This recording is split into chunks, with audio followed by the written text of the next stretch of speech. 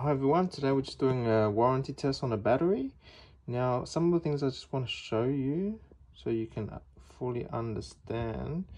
Now, this battery is only 10.6 volts, so it's not full charge.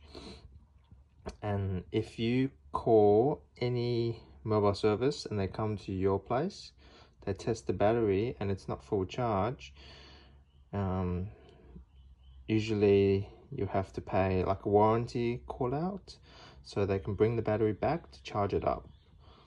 And I'll show you what I mean. I'll test the battery. Battery test. Car. This is just a normal regular flooded battery. CCA 680 which is here.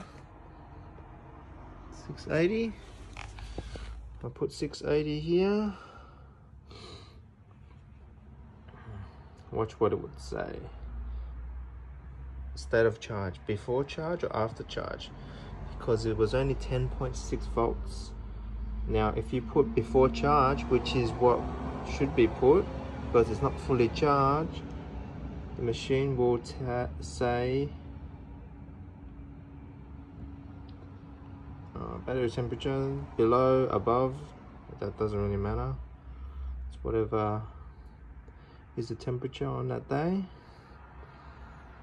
Say charge and retest, see? Charge and retest.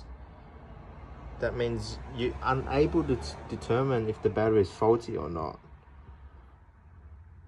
Because it's not fully charged yet. After it's full charge, then we can retest it. Then we can see if it's faulty or if it's still a good battery. But given the year model, when it was installed, it's already three years, most likely the battery is faulty.